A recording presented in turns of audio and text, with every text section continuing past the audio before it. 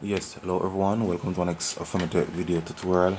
Now for this episode guys i'm gonna actually um show you how to get to the boot menu or get into the BIOS for this Lenovo IdeaPad um, laptop. So I need to change the booting device. So I need to get into the BIOS or the boot menu. So press the power button.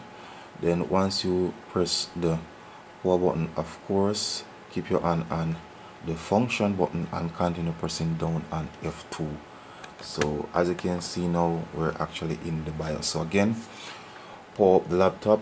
Once you press the power button then you're now to press on the function key or the FN key and so press and hold and then of course continuously pressing the F2 key. So that's how you get into this Lenovo um, setup utility section also known as the BIOS.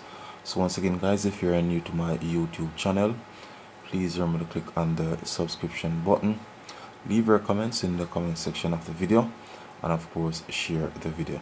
So once again guys um, thanks for viewing. Tech is out of here